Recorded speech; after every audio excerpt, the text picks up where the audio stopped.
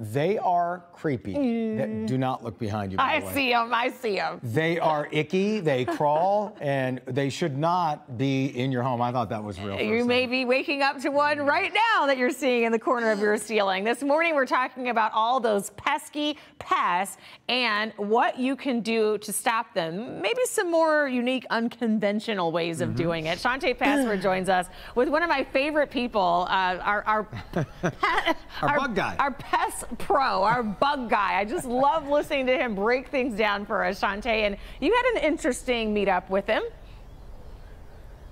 I did, which you'll see in just a little bit. Actually, I don't know how all of a sudden I got to become the bug expert, but what I will say is coming up, it seems like we always had a spray ready to go for the ants. It seems like they're always coming in looking for food, looking for water. Turns out we might have been doing it wrong. This morning we're showing you the best way to get rid of them, which products to use, and then this part, how you have to sit and wait. When you see them in your house, you know there's never just one. It's not fun to see them, you know, going around the house, but you know, we just take care of it. Everyone has their own method. For the ants, I just try to be honest, I just bleach them up. I just wash them up with bleach and hope that it like makes the trails go away. Is it working?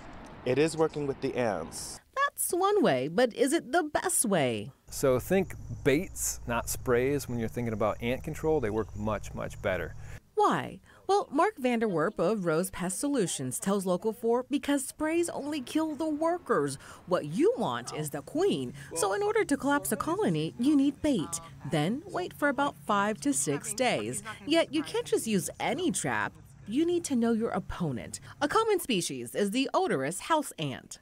If you smush them, they smell like blue cheese. Vanderwerp offered me a whiff, and it took a few times. This is this is Yeah, oh, that one's good. Going good. You getting that? yeah. Man, did, did it You smell the blue cheese? Yeah. In this case, consider gel bait. It's basically food ingredients they like to eat. He places about two grams, enough to knock out the colony.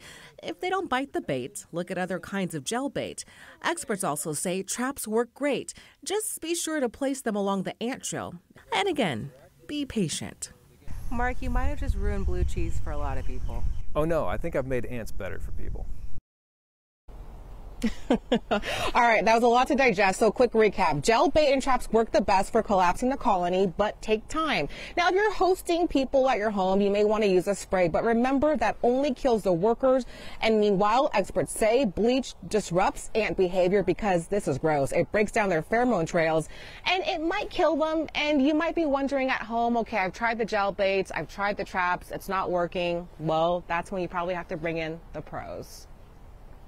Yeah, I think that's true. That's always the bottom line. If, Yeah, if you at the can't end of the it done, day, the right? You, you got to get rid of them. Um, let's talk about spiders. We didn't cover that. Um, we know that spiders do have some benefits, but when in, they're in your house, they creep you out. I was going to say that's where the benefit ends for me personally for a lot of folks, right? Okay, so this sounds like a no-brainer, right? But they work really hard on their cobwebs, and the expert we just heard from said basically grab a broom and repeatedly, no matter how many times, keep knocking them down because the thinking is the more you do it, they're going to say, you know what, I can't build my home here, my trap here, I'm going to do it elsewhere, which Ah. that's fine with me. Okay. Works on humans. You might as well try it with spiders. Good information. Thank you, Shawnte.